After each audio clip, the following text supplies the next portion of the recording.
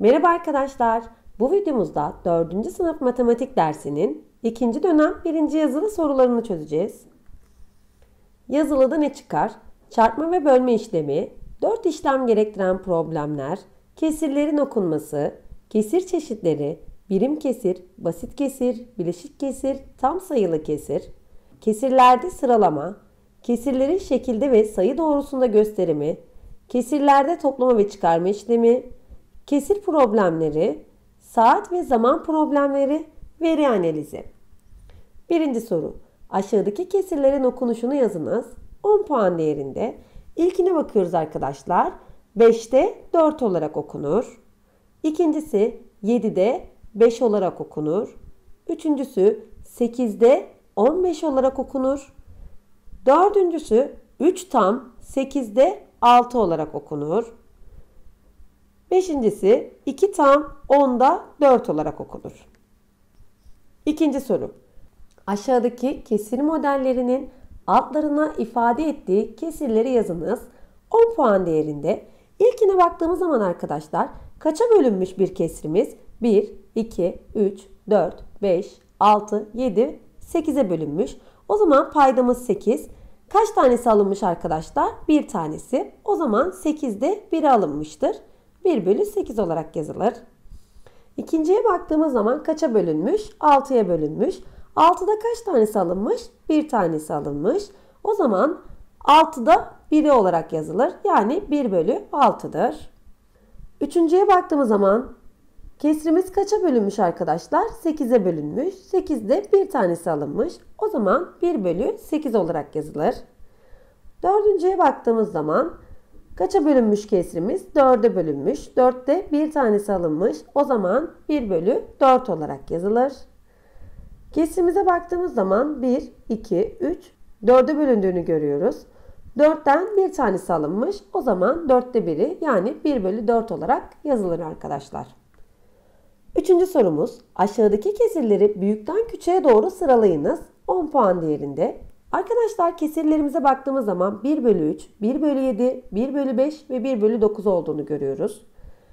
Paylarına baktığımız zaman hepsinin 1 olduğunu, payları eşitse arkadaşlar paydası küçük olan en büyüktü. O zaman sıralayalım. En büyük olan 1 bölü 3 büyüktür 1 bölü 5'ten. O da büyüktür 1 bölü 7'den. O da büyüktür 1 bölü 9'dan. Dördüncü sorumuz. Aşağıdaki toplama ve çıkarma işlemlerini yapınız. 10 puan değerinde. İlkine baktığımız zaman arkadaşlar paydaların eşit olduğunu görüyoruz. Paydalarımız eşitse paylar toplanır ve ortak bir payda alınır. O zaman 3, 4 daha 7'dir. Ortak paydayı alırız. Paydamız 8'dir. Cevabımız 7 bölü 8'dir. İkinciye baktığımız zaman 9 tam 9 bölü 20 eksi 1 tam 1 bölü 20. Arkadaşlar tam sayılı kesirlerde tam sayılar kendi aralarında işlem yapılır. Kesirli sayılar kendi aralarında işlem yapılır. 9'dan 1 çıkarırsak 8 tam olması gerekiyor. Kesirli sayılarımıza bakalım. İkisinin de paydaları 20'dir. O zaman 9'dan 1 çıkarırız ve ortak paydayı alırız. Önce tam sayılı kesrimizi yapalım. 9'dan 1 çıkarmıştık 8. Kesirli sayımıza bakalım. 9'dan 1 çıkardık 8 ve ortak paydayı aldık 20. Cevabımız 8 tam 8 bölü 20'dir. Beşinci soru. Aşağıdaki istenenleri bulunuz 10 puan değerinde. İlkine bakalım. 30'un 2 bölü 6'sı. O zaman arkadaşlar 30'u önce 6'ya böleriz. Sonra bulduğumuz sayıyı 2 ile çarparız.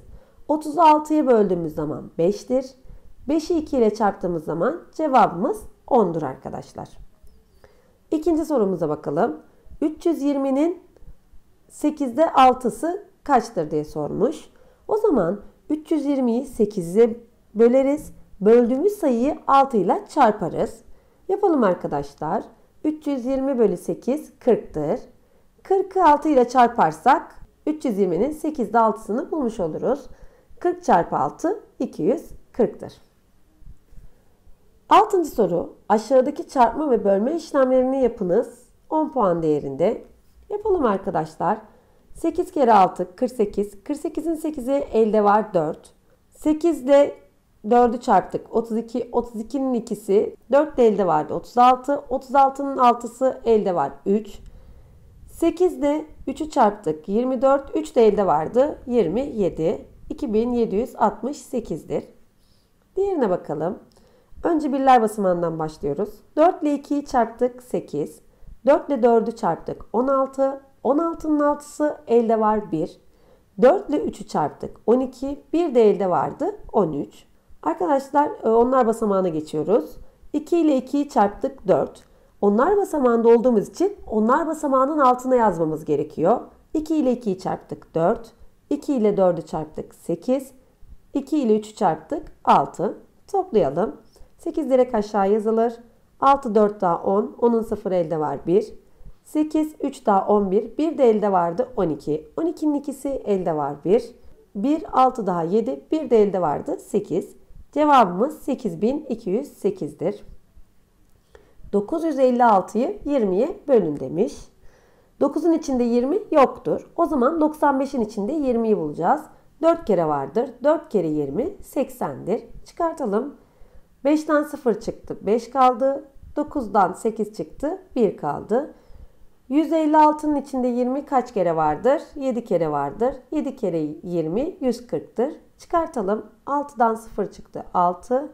5'ten 1 çıktı. 1. 1'den 1 çıktı. 0. Bölümümüz 47. Kalanımız 16'dır arkadaşlar.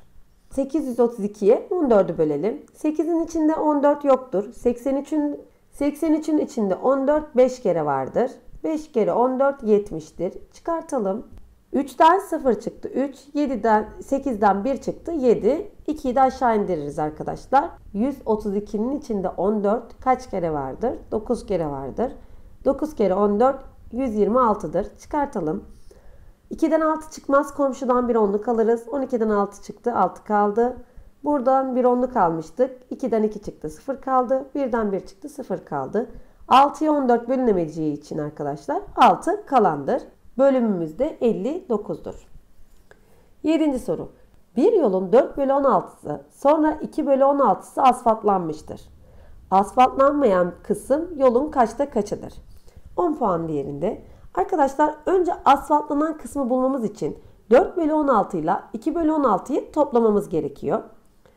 Paydalar eşit olduğu için ortak paydayı alıyoruz. 4 ile 2'yi topluyoruz. 6. 6 bölü 16'sı asfaltlanmıştır. O zaman tamamından çıkarmamız gerekiyor. 16 bölü 16'dan 6 bölü 16'yı çıkartırsak asfaltlanmayan bölümü bulmuş oluruz. Ortak paydayı alıyoruz 16. 16'dan 6 çıkarttık 10. 16'da onu yolun asfaltlanmayan kısmıdır arkadaşlar. 8. soru. Bir bakkal elindeki 280 paket çikolatanın 7'de 3'ünü sattı. Geriye kaç paket çikolatası kalmıştır? Arkadaşlar 280 paket çikolatanın 7'de 3'ünü bulabilmemiz için 280'i önce 7'ye bölüp bulduğumuz sayıyı 3 ile çarpmamız gerekiyor. Yapalım. 280'i 7'ye böldüğümüz zaman 40 buluruz. 40'ı 3 ile çarparsak kaç paket sattığını bulmuş oluruz. 120 paket satmıştır. Bizi geriye kaç paket çikolatası kaldığını sormuştu. O zaman 280'den 120'yi çıkarmamız gerekiyor. Çıkarttığımız zaman 160 paket kaldığını bulmuş oluruz arkadaşlar. 9. soru. Saat 21.50'de başlayan bir film saat 23.30'da bitmiştir. Ara vermeden yayınlanan bu film kaç saat kaç dakika sürmüştür? 10 puan değerinde arkadaşlar.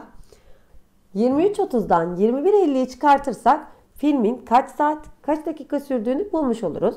Çıkartalım.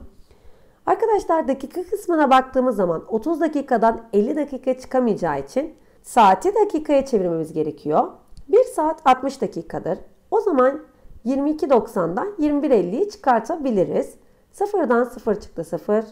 9'dan 5 çıktı 4. 2'den 1 çıktı 1. Cevabımız 1 saat 40 dakikadır arkadaşlar.